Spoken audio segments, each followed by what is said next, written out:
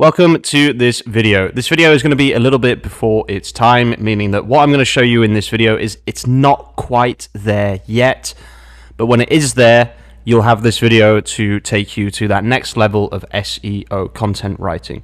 Before we get into this, I want to talk a little bit about the history of ChatGPT for SEO content creation. So the first thing we had was ChatGPT 3, which was when it first came out and it was really really good but there was a certain problem with it. It just it wasn't it wasn't writing that next level content that kind of content that you want to actually read on a website okay? The content was okay for SEO but it wasn't really that well written. And then we got ChatGPT 3.5 Turbo which not only writes a lot more quickly but the content was a little bit better. However it still lacked a little bit of je ne sais, je ne sais quoi a little bit of mm, a little bit of humanity, I guess, is what was missing. Now, on the other hand, we have Chat GPT 4. So there is a cap and it is incredibly slow. However, if you use this correctly, you can still write some amazing content. And when the cap's removed, and when you can write an entire article with one click, this will be an absolute game changer. So first thing we're going to do is we're going to find an article topic to write about. And what we're going to do for that is we're going to be using the website that I work for, which is Two Men. So this is the Google Search Console of Two Men Italia or Two twomen.it. And everything here you can see on this screen except one article was written with uh, ChatGPT 3.5 or ChatGPT 3. So if the if your question is does AI content rank on Google, then this Search Console very clearly shows that it does. I have one article that was written by ChatGPT 4, and it's about um, uh, office outfits for men, and it's not currently appearing on Google. Oh, no, it is appearing on Google. Okay, so office outfits for men. I wrote this article three days ago. This is a really, really big keyword. It has up to 10,000 searches a month let's just see. I know I'm not using an um, VPN or anything. I just want to see where we're where we are basically on Italian Google right now, and we're on the third page, which is pretty good for a very very new article. You can see it was only indexed by Google two days ago. This article is far superior to 3.5 in my opinion, and I'm super super impressed with Chat GPT 4. In my original video about ChatGPT 4, I did talk about how it's too slow to consistently write a lot of content. However, I still wanted to make this video because once that's not the case, it's going to be absolutely insane. So what I personally like to do is I like to get my collections like this, and I like to get my blogs. This will make sense in a second, guys. Just follow my process. Trust me, this will make sense in a second. I have talked about this process before, but the reason I'm doing it again is just because of ChatGPT 4. It's, it does this process much better, and I really wanted to share this with you guys. So what you can do is you can post your sitemap into a Google Sheet like this, and then what you want to do is you want to filter Z to A, and then you want to scroll down to where it says lock, and then you want to grab all of your blog posts. There are other ways to do this. This is just the way that I personally do it. And then you can do Control F, and then you can remove the word lock like that. And then you just want to put a slash here and do the same thing. Replace all. Okay, these are now hyperlinks, but I actually I want my collections as well, and I'll I'll tell you why that is. It's because I want the output of um, ChatGPT 4. I want it to be really specific to my website, to my niche, Okay, and if you don't do it like this, it won't be super specific, okay? So it's much better to make sure that you have all of the important pages that you um, want to talk about uh, inside this list, okay? So that should be that.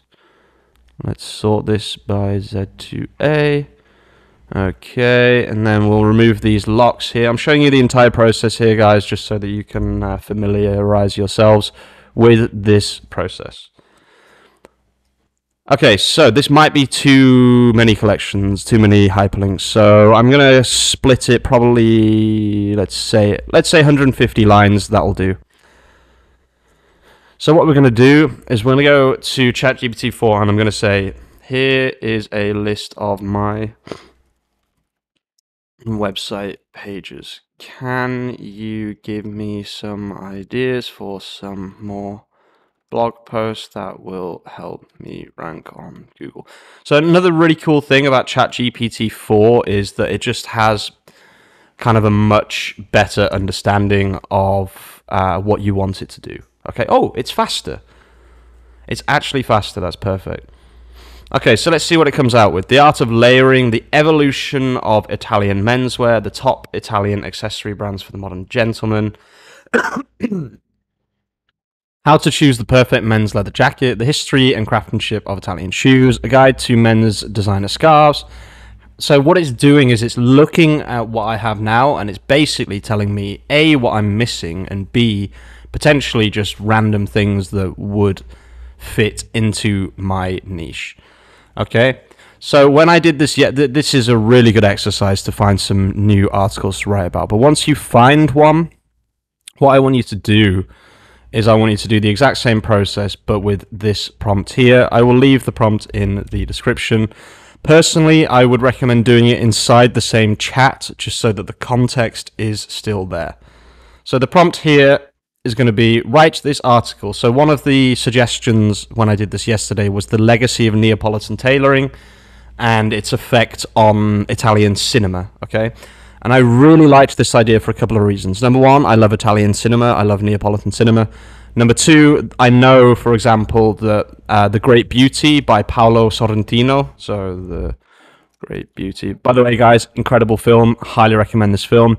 But I happen to know that every single suit in this film was made by one of the brands that we sell. So the article for me was a no-brainer. Okay, we sell Cesare Attolini. Sorrentino used Cesare Attolini in the film. It just seemed really obvious to me. And this is giving my own spin, my own knowledge, my own passion for the subject into the blog post. That is such an important part of writing a good blog post. You can't just expect ChatGPT to do that for you. You need to give the passion, you need to give the knowledge, the the feeling for what you're writing about. And that's what I did here. We write this article, The Legacy of Neapolitan Tailoring, a Cinematic Journey. journey. Please mention The Great Beauty by Paolo Sorrentino and mention that the tailor for all of its outfits in that film was Cesare Attolini. Here are the in, this is the beautiful, most important part of this process. This is the part that will change the way that you write content as soon as this is available in the playground or just in ChatGPT where it doesn't mess up. They might have already changed it because there has been an update. So when I press enter, there is a chance it's going to write the entire article without stopping.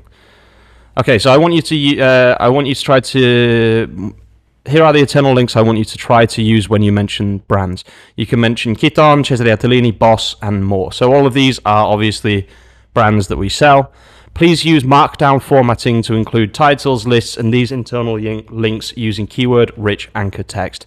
And I've got all my blogs and all my important collections. Let's hit enter and let's see the content that it comes out with.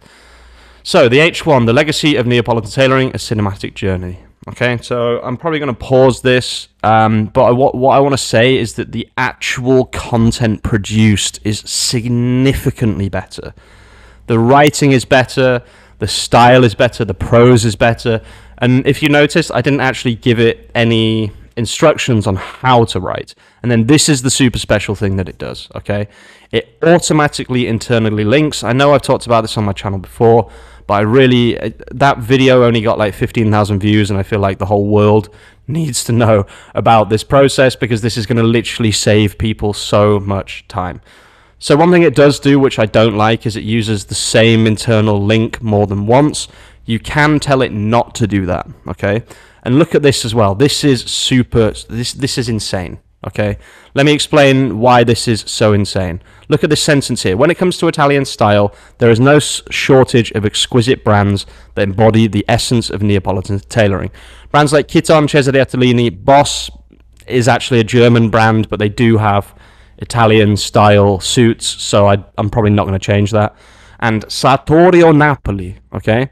I did not say in my prompt to use to even talk about Sartorio Napoli. But ChatGPT 4, they know that Sartorio Napoli is a Neapolitan ta- tailoring brand, and they have therefore, or it has therefore, contextually included it without me telling it to do that.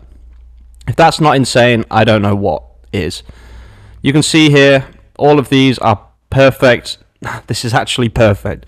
So this is the big improvement from ChatGPT 3.5 for SEO content into ChatGPT 4. Not only is it um, getting a lot faster, but the the internal links and the context of the article, and also just the way that the article is written, it just deals with everything so much better.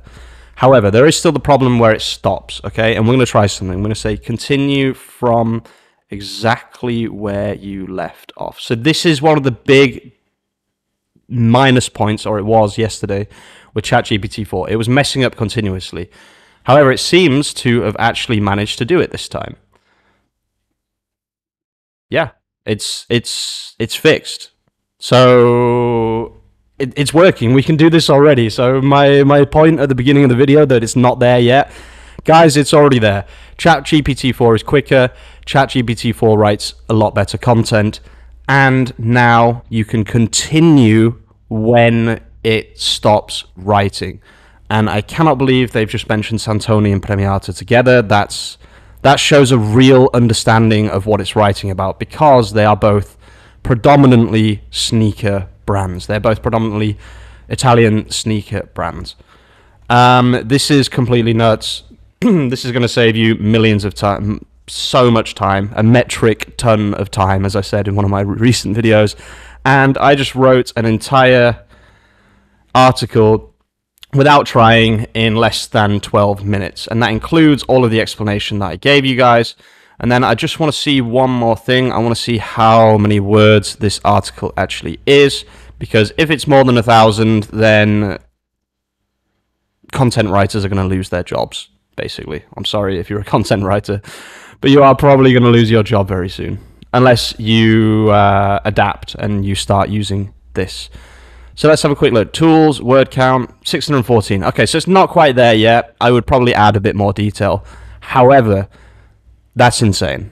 Like, honestly, that's completely crazy. And I'm going to do something for the first time on this channel. I'm going to go to a AI, uh, a, a content detector. I'm going to use... Um, the one that I normally use, which is this one.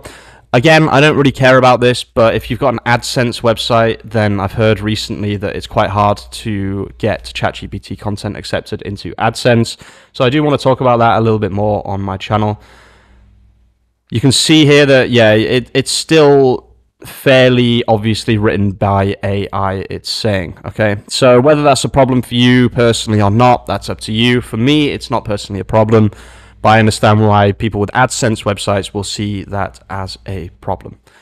That's it, guys. Thank you so much for watching. ChatGPT 4 is completely insane. And now that it's faster and it understands contextual internal links a lot better, I'm going to keep playing with this, guys. Let me know if you want to see more content on this. Thanks for watching, and I'll see you soon with some more content. Peace out.